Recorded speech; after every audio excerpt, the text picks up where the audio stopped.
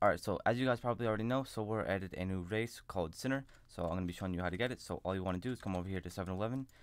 By the way, I would appreciate it if you did hit that like and subscribe button. We're trying to get to 9,700 subscribers, and there's going to be a Discord link in the description down below if you want to join my Discord. But all you want to do is come over here, come to the bridge, and you want to come over here. And as you can see, there's a huge portal right there, okay?